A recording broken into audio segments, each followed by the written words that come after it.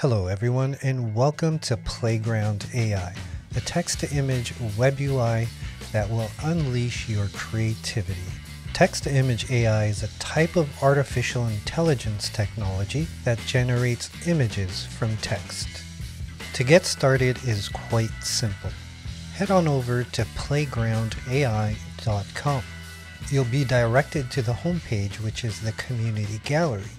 Here you could sift through various images here to either get inspiration, learn about the prompts, but we'll come back to this later.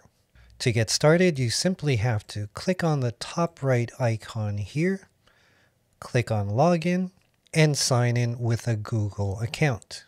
Once you're logged in, simply click on your profile to give you more options on the site. I encourage you to check out the FAQ section if you're new to Playground AI. There's also a direct link to join the Discord server and a quick access option to request support. Now let's go ahead and click create and start creating some images. What you see here is the user interface, and I'll explain all these settings as we create. On the left here is where you would enter a descriptive text of the image you want, known as a prompt. Personally, I like to start off with a simple format. The kind of image you want, it could be a painting, a drawing, a sketch, and what is your main subject or theme. You may also want to consider your environment.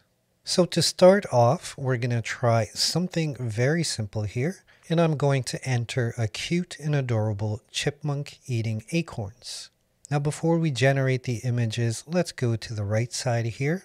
Under model, I'm currently using Stable Diffusion 1.5. Think of this as the base model to create your image. There are also options for Stable Diffusion 2.1, but if you're starting out, I encourage you to start with 1.5 for now. There's also an option for DALL-E 2 for an additional cost. For now, let's select Stable Diffusion 1.5. Just below we have our image dimensions. We'll leave it at 512 by 512 for now. And the rest of the settings we'll come back to as we progress with the image. But the one thing I do want you to check on is the private session. Otherwise, all the images you produce will be showing on the public homepage. Number of images, let's go for four. All that's left to do is to click on generate and here are the rendered images based on the text that we inputted. Since we're here, I want to show you the column slider here. If you slide that to the right, you can select how many images that you want per row. As for the results, we have a cute and adorable chipmunk eating acorns. Well, kind of eating acorns. We have some on the ground here. This one seems to be having a beverage. As you can see, the images are fairly coherent and very photorealistic. But maybe you wanted something a little different, like a cartoon style. One of the benefits of Playground AI is that we have some built-in filters here that can change the look and style of your image. If we click on the drop down here, it will reveal several filters that you can choose from. For this example, we're going to click on Playtoon and simply hit generate once again. Now as this runs, you're going to see that there's some additional text within the image. And that's what the filter does. It does some of the work for you and you could simply focus on your ideal and build from there. We'll get into more complex prompting in future videos. Now it's quite obvious the results of this image is very different from the photorealistic images that we got before. The results here are more like a Pixar style cartoon. One thing to take note of, text to image AI is very random and not really consistent. So you will get varying results and even results that just don't come out just right. Like I think they were attempting to put glasses on this one. That didn't work out. We could simply delete this image from here by going to the bottom right to delete the image. This one's kind of cute. Now as cute as these are, I'm going to generate four more images because I'm looking for an image that I can work with that has a composition that I could build upon. The other thing I want to do is change the aspect ratio to 512 by 768. So I'm simply going to generate four more images here. Here are the first two images. As you see, they're not that great. We actually have acorns coming out of the side of this one.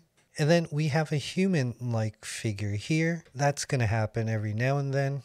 If we look at the other two here, much better results, but it definitely needs some work. You'll also notice that the proportions are off. The hands may be a little janky, the arms may be a little long. Just know that's very normal. But the one thing that can help this is the use of negative prompts. If we go to the left here, you'll see this option remove from image. We can click on that and then we can enter in things we don't want in the image. For example, deformed limbs, double heads, long necks, extra arms, extra legs. You get my point. I'll leave a link in the description below to a Google Doc where you can basically copy and paste common negative prompts that I personally use.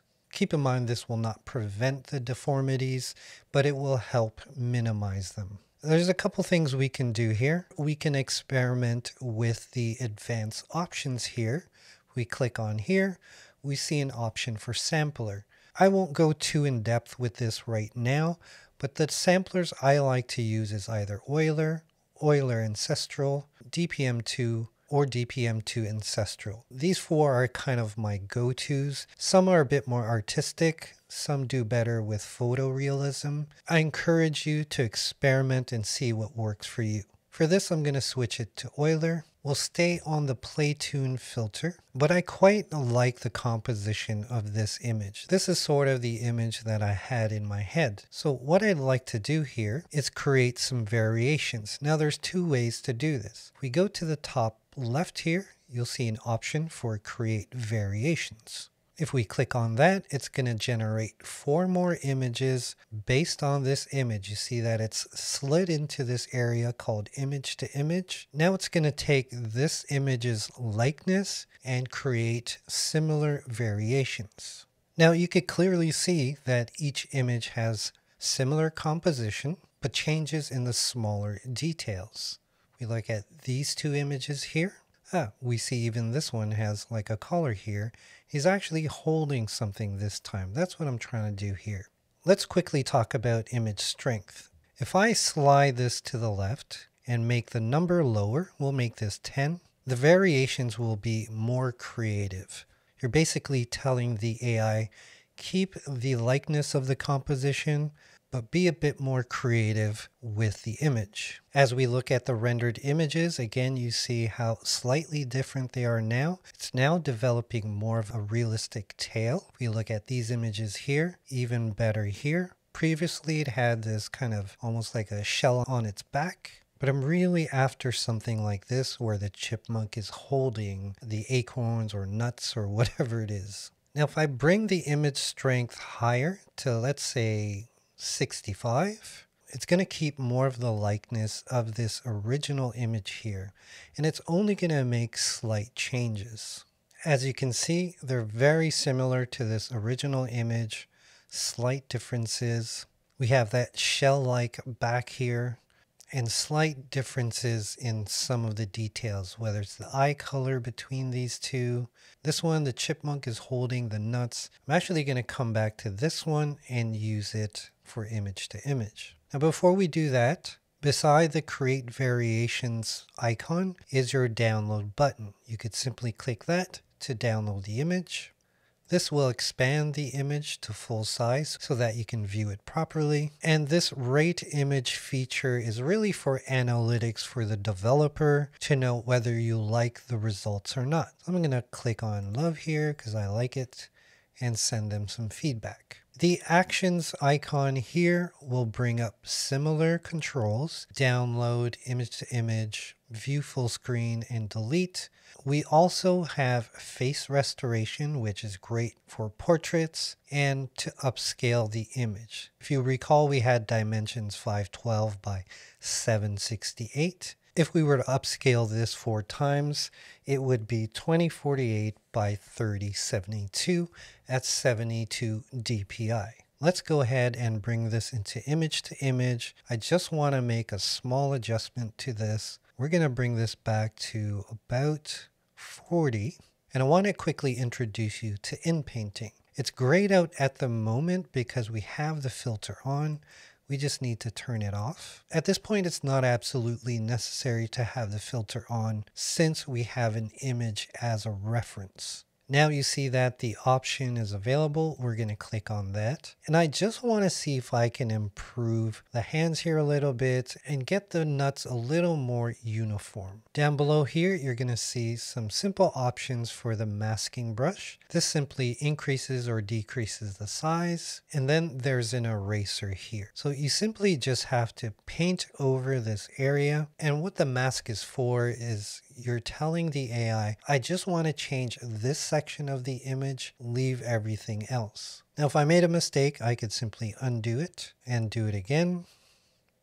Or maybe I want to, you know, get a different type of tail here. So I'm going to mask this area for potentially more tail. And then we're going to click done. You'll also notice on the right that we have a number populated here under seed. A seed number sequence is related to this image. Every image that you generate will be assigned a seed number. I'm going to remove the image and just show you a couple more of these filters with the same prompt. If we select poly mode, for example, let's make sure that we have random images here and generate four images. We're going to get a completely different style and look. I like to think of the filters like built-in presets. As you can see, totally different results from what we were getting with the previous filter. Much more toy-like, very cute and adorable. I quite like this result actually. In the next video, we'll cover some basic prompting from scratch without using filters to get the results that you want. Let me know in the comments below if that's something you're looking forward to. In the meantime, I do want to show you your profile gallery. So if you click on your icon here, click on profile, here you will see your personal gallery. Now you can sort it by your newest, your oldest, or your most liked.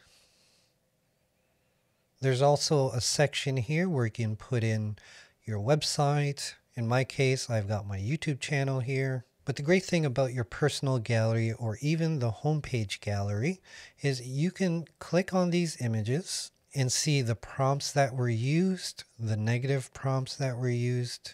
You can copy the prompt here. Remix is an option. If I click on this, it'll populate all the prompt areas here the settings that were used and produce similar results. Now notice the seed number here. We can also randomize it to get various results, but again with the same settings. Just below we have our seed number, the settings that were used, how many likes the image got, download button, a copy link button that you can use to share on social media. And if we click on the three dots here, you can make this private or public or remove the image. You'll also see similar images based on your prompt that other people have done. Now that you're more familiar with Playground AI, I'd love to see some of your work in our Discord server. So make sure you go ahead to your profile icon, click on join Discord, and share your AI generated images with the community. Also, let us know in the comments below what you want to learn next. Until we create again, my friends, I'll meet you at the playground.